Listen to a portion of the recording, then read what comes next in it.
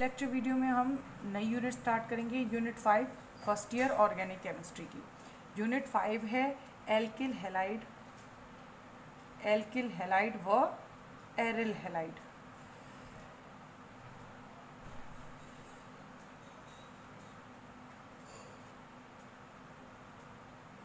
Alkyl halide व aryl halide तो alkyl halide व एरिल हेलाइड्स क्या होते हैं?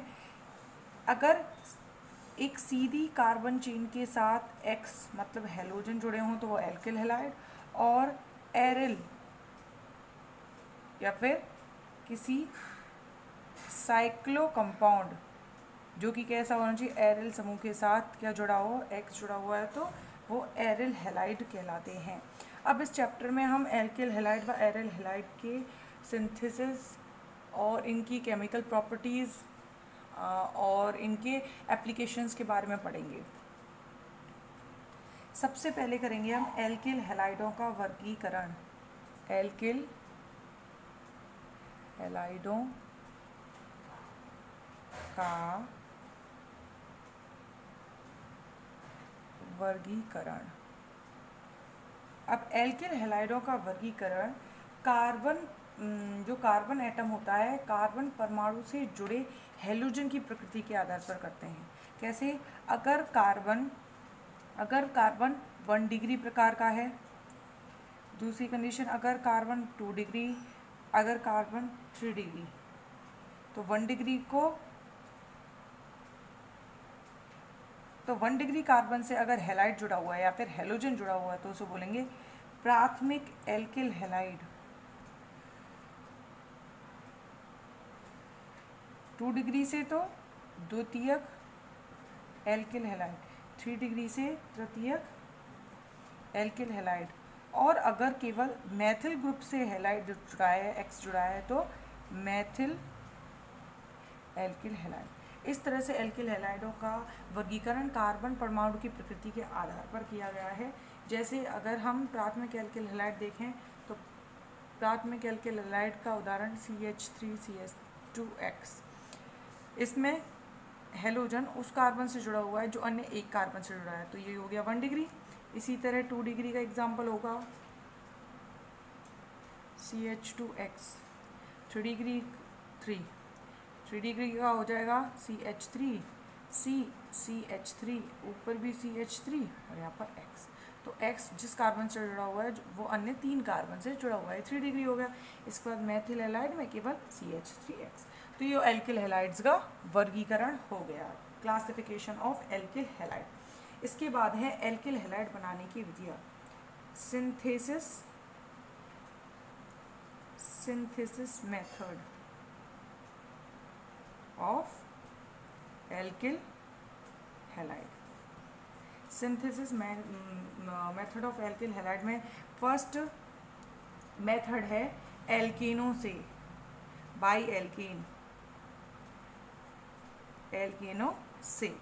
अब एल्केनो से हमें एल्किल हेलाइड प्राप्त करना होता है तो हमें एल्कीन की अभिक्रिया, हमें एल्किल हेलाइड प्राप्त करना है तो एल्केन भी चाहिए और हेलोजन भी चाहिए।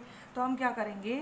सी एच फोर एल्केन की अभिक्रिया हेलोजन से सूर्य के प्रकाश की उपस्थिति में या फिर पराबैंगनी विकिरणों की उपस्थिति में करवाते हैं तो एक एच सी एल के साथ एच सी एल निकल जाएगा और एक सी एल इस सी एच एक एच इसमें सी एस थ्री बचा तो सी एस थ्री के साथ सी एल जुड़ गया।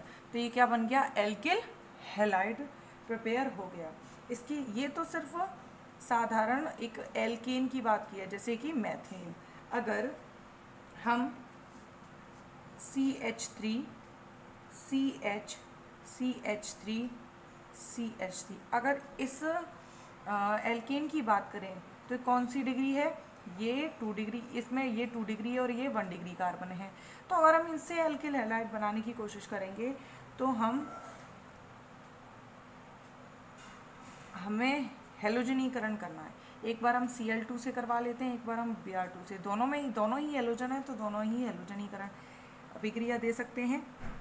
अब इसके बाद, अब एच यहाँ से प्रतिस्थापित हो या फिर यहाँ से प्रतिस्थापित हो। तो हम पहली कंडीशन में एक बार यहाँ से प्रतिस्थापित कर देंगे और इन तीनों में सिंथेसिस एल्किन से सिंथेसिस करेंगे। जब हम एल्किल हैलाइड का तो सबसे पहले हमने जब सी एल टू से सी एल टू से क्लोरीनीकरण और बी आर टू से ब्रोमीनीकरण करवाया है तो हम पहले अगर इस कार्बन इस हाइड्रोजन का प्रतिस्थापन करते हैं मतलब वन डिग्री कार्बन से हाइड्रोजन या फिर वन डिग्री हाइड्रोजन प्रतिस्थापन हुआ है तो पहले हमने C H three C H C H three और यहाँ पर सी एच टू एक्स रख दिया। Plus C H three C यहाँ पर सी एल एक्स की जगह सी एल रखना है। सी एल रख दिया। यहाँ सी एल यहाँ सी एच थ्री और यहाँ पर भी सी एच थ्री तो ये कौन सा डिग्री एल के एलाइड है? वन डिग्री क्योंकि सी एल उस कार्बन से जुड़ा हुआ है जो अन्य एक कार्बन से जुड़ा हुआ है, जबकि इस ये कौन सा है? थ्री डिग्री अगर हम इसकी बात करें तो इसमें C H three C H C H three C H two and ये बी आर और इसमें C H three C B R C H three C H three तो इसमें एक वन डिग्री और थ्री डिग्री एल्किल हेलाइड या alkyl bromide और इसमें एल्किल क्लोराइड बनते हैं। तो ये एल्किनों से क्लोरीनीकरण करके एल्किनों का क्लोरीनीकरण करके हम alkyl halide one degree three degree को आसानी से प्राप्त कर सकते हैं। अब ये एल्किन से थी, इसके बाद नेक्स्ट सिंथेसिस प्रोसेस है एल्कीन से। सेकंड एल्कीन से। इसमें हम एल्कीन से एल्किल एलेंट बनाएँगे तो C H two C H two ये एल्कीन हो गई। एक और एल्कीन लेके देख लेते हैं C H three C H double bond C H two हमने एच सी एल की रिएक्शन कराई, यहाँ पे भी एच सी एल की रिएक्शन जब एल्किनों की रिएक्शन हेलोजन हाइड्रोजन अम्लों से करते हैं तो एल्किल हेलाइड बनते हैं। इसमें क्या होगा? पाई बॉन्ड टूटेगा, दो सिग्मा बनेंगे, एक से एच एक से सी एल जुड़ जाएगा। तो सी एच टू तो हम इसे एक थ्री कर देते हैं। और इसको C H two C L इसमें क्या होगा? C H three C H C L C S three इसके बाद नेक्स्ट एल्कोहल से थर्ड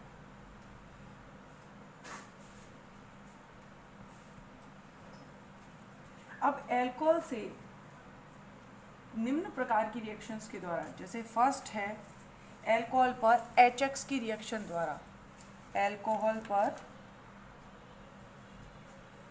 एच एक्स की एच एक्स की रिएक्शन द्वारा। तो जब हम एल्कोहल की रिएक्शन आर ओ एच लिया एच एक्स से करवाते हैं तो आर यहाँ से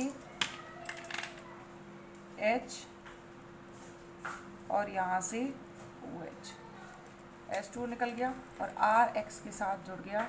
R X plus H two O ये हो गई फ़र्स्ट एल्कोहल एल्कोहल से हम कुछ अभिक्रियाएँ हैं। जैसे इसके बाद है फास्फोरस हेलाइड की अभिक्रिया द्वारा। पहली है हाइड्रोजन हेलाइड की अभिक्रिया के द्वारा भी एल्किल हेलाइट प्राप्त कर सकते हैं। सेकंड एल्कोहल पर phosphorus halide phosphorus halide reaction द्वारा। तो सबसे पहले हम P X three P X three की रिएक्शन करवाएँगे और फास्फोरस हेलाइड में दूसरा है पी एक्स फाइव एक बार पी एक्स थ्री और एक बार पी एक्स फाइव एक्स की जगह सी एल भी हो सकता है। तो एक्स मतलब हेलोजन तो यहाँ पर अगर हमने पी एक्स थ्री से अभिक्रिया करवाई तो एल्कोहल के हमें तीन अणु लेने होंगे तो एल्कोहल के तीन अणु लिए plus P X X X तो यहाँ से H three P O three निकल जाएगा तो H three P O three तो कौन सा अणु निकलेगा? यहाँ से ये इसका ये वाला भाग, और यहाँ से इसका पी वाला भाग। जब ये निकलेगा, क्या निकला ये? H three P O H three P O three निकल गया और आर के साथ एच आर के साथ एच आर के साथ एच सॉरी एक्स एच नहीं एक्स आर के साथ एक्स आर के साथ एक्स तो क्या बन जाएगा? थ्री आर एक्स ये तो है फ़र्स्ट पी एक्स थ्री के साथ रिएक्शन इसके बाद नेक्स्ट पी एक्स फाइव के साथ रिएक्शन करवाएँ तो तो आर ओ एच तो इस कंडीशन में एल्कोहल का केवल एक अणु लेना है। तो P one two three four five तो सभी जगह एक्स जोड़ दिया। अब इसमें से क्या होगा?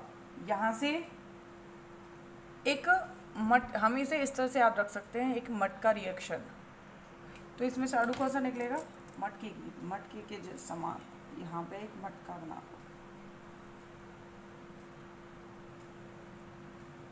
ये वाला निकल गया। तो क्या होगा? आर के साथ एक्स प्लस एच के साथ एक्स और ये पी ओ एक्स थ्री तो एल्किल हेलाइड इसमें भी बन गया हमारा। तो एल्कोहल से एल्कोहल से हम एच एक्स की रिएक्शन द्वारा पी एक्स थ्री की रिएक्शन द्वारा पी एक्स फाइव की रिएक्शन द्वारा एल्किल हेलाइड प्राप्त कर सकते हैं। इसके बाद हमने एल्कोहल पर थायोनिल क्लोराइड की अभिक्रिया द्वारा ट्वेल्थ में ये तीनों रिएक्शन हम ट्वेल्थ में पढ़ चुके हैं। एक डार्जन प्रक्रम पढ़ा था थायरल क्लोराइड के विक्रिया द्वारा, उसे भी देखते हैं। एल्कोहल पर S O C L two की रिएक्शन द्वारा। जब हम आर ओ एच की अभिक्रिया S O C L two के साथ, हमें S O C L two के साथ अभिक्रिया तो S O C L two के साथ अभिक्रिया करवानी है। किसकी प्रेजेंस में? पिरिडीन की प्रेजेंस में करवाएँगे। जब हम ये रिएक्शन करवाएँगे तो यहाँ से एस ओ टू निकलेगा आर सी एल के साथ। आर सी एल बन गया एस ओ टू और एच सी एल और ये इनकी, ये गैसीय गैसीय स्टेट में होंगे। इस विधि जो द्वारा जो एल्किल हेलाइड प्राप्त होते हैं, वो बहुत शुद्ध अवस्था में प्राप्त होते हैं, क्योंकि ये दोनों गैस अवस्था में होते हैं और जल्दी से पात्र में से उठ जाते हैं।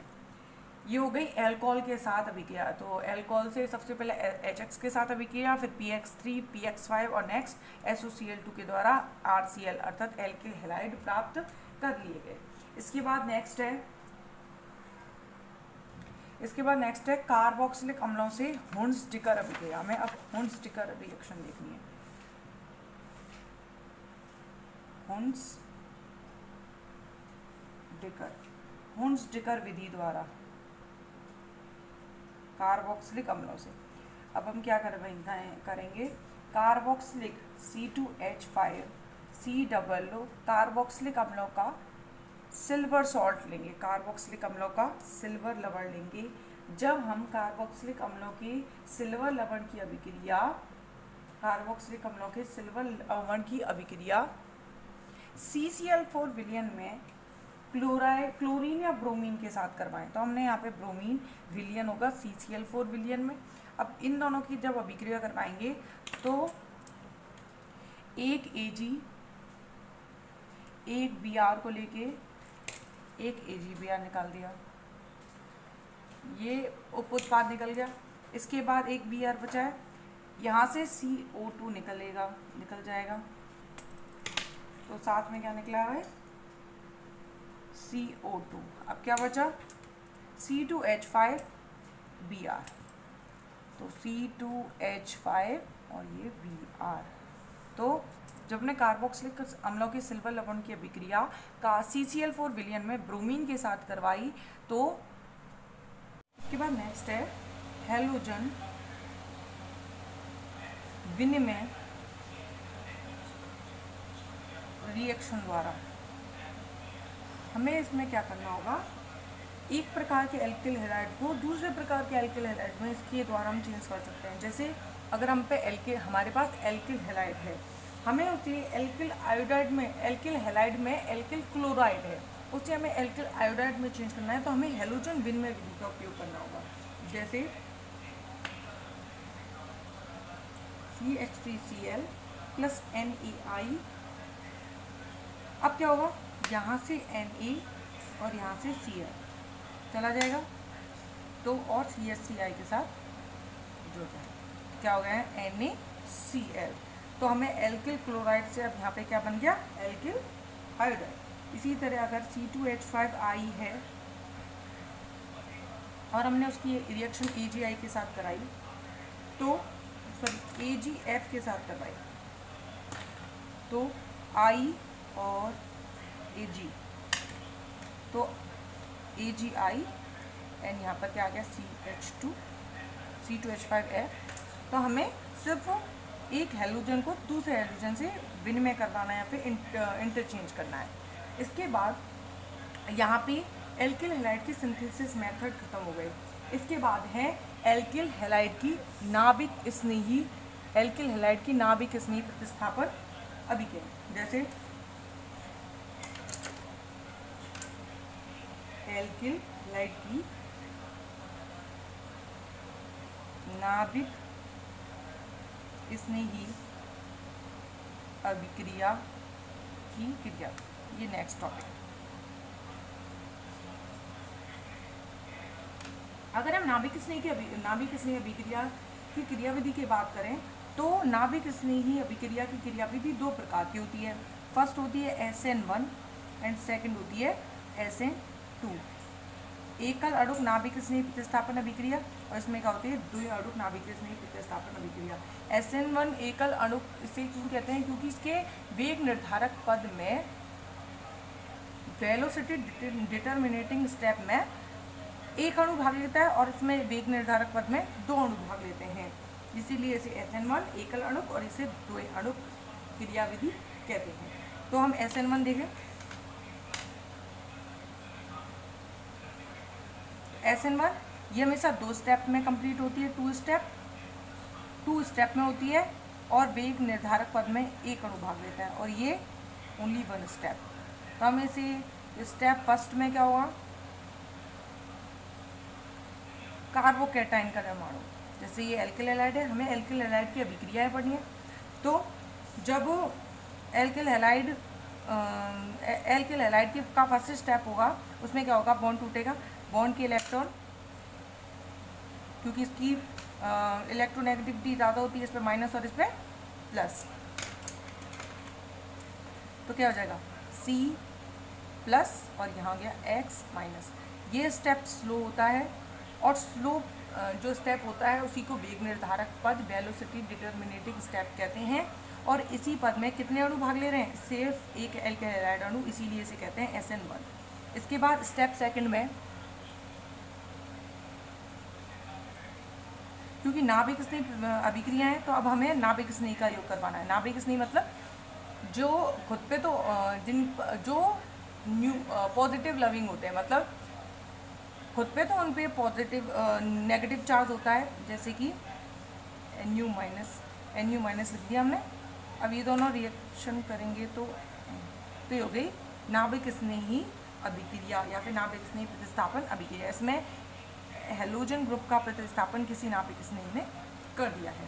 ये तो होगी S N one reaction S N S N one mechanism इसके बाद पहले हम एस एन वन को ही ख़त्म ख़त्म करेंगे। तो इसमें क्या है? नेक्स्ट नेक्स्ट है energy diagram energy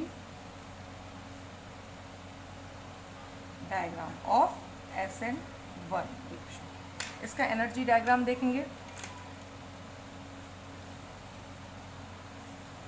S N one reaction की एनर्जी डायग्राम में एस एन एल्किल हेलाइड की रिएक्शन हम न्यूक्लियोफाइल से करवा रहे हैं। तो सबसे पहले जब ये दोनों आपस में रिएक्शन कर रहे होंगे तो पहले एक संक्रमण अवस्था को पार करेंगे, पहली संक्रमण अवस्था।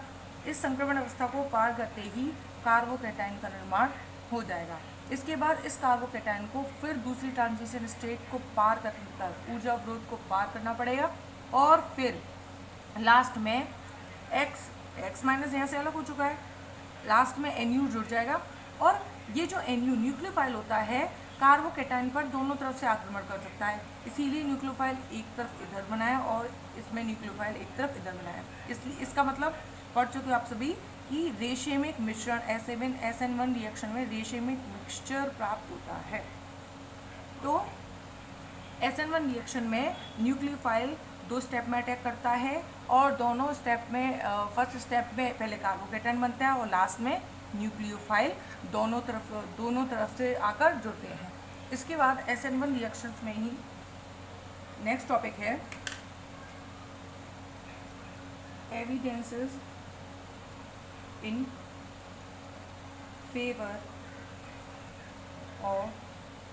N one mechanism S N one क्रियाविधि के पक्ष में प्रमाण एविडेंसेस इसका फ़र्स्ट एविडेंस है गतिज गतिज प्रमाण काइनेटिक एविडेंस काइनेटिक एविडेंस इसमें क्या होता है कि इस अभिक्रिया के जो गतिकीय काइनेटिकली जब स्टडी की जाती है तो इसके लिए समीकरण प्राप्त होता है इक्वेशन वेग समीकरण। जिसे बोलते हैं वेग समीकरण। इसका वेग समीकरण होता है आर एक्स इस, इसका वेग समीकरण क्या प्राप्त होता है? वेग समीकरण बराबर के ब्रैकेट में मतलब जो वेग समीकरण है अभिक्रिया वेग है, वो केवल एक ही अणु पर निर्भर करता है। अर्थात अभिक्रिया वेग केवल एल्किल हेलाइड की सक्रिय सांद्रता पर निर्भर करती है। इस, अर्थात एक अणु की ही आवश्यकता होती है वेग समीकरण को निर्धारित करने के लिए, इसीलिए इसे एकल अणु या एस वन कहा जाता है। ये हो गया फ़र्स्ट एविडेंस इसके बाद है सेकंड त्रिविमीय। त्रिविमीय प्रमाण या त्रिविमीय रसायन प्रमाण।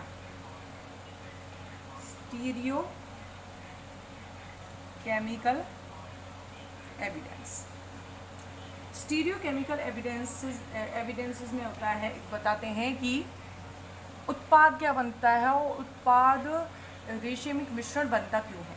तो इसमें बताते हैं कि जो एस एन वन रिएक्शन होती है, उसमें फ़र्स्ट स्टेप में फ़र्स्ट स्टेप जो होता है, उसमें क्या बनता है? कार्बोकेटाइन बनता है। फ़र्स्ट स्टेप में कार्बोकेटाइन बनता है और उस कार्बोकेटाइन की स्ट्रक्चर होती है समतलीय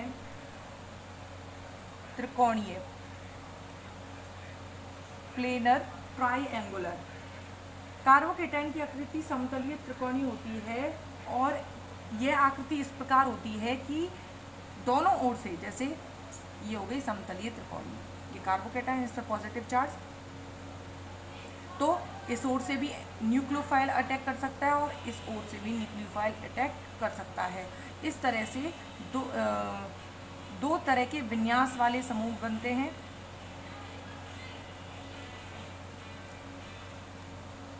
एन तो इसे बोलते हैं रेसिमिक मिक्सचर। और इस रेसिमिक मिक्सचर के बारे में इसकी स्ट्रक्चर बताती है और ये स्ट्रक्चर किसमें पढ़ते हैं? त्रिविमीय प्रमाण में। इसके बाद नेक्स्ट एविडेंस है पुनर्विन्यास।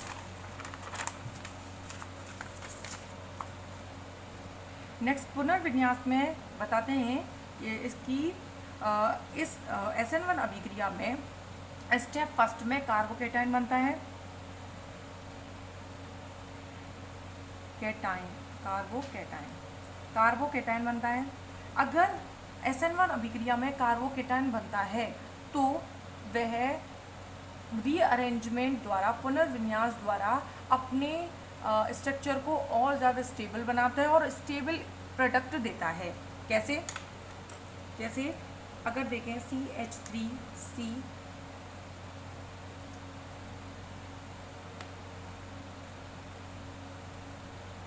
ये है neopentyl bromide neopentyl bromide की अभिक्रिया एथेनॉल से करानी है।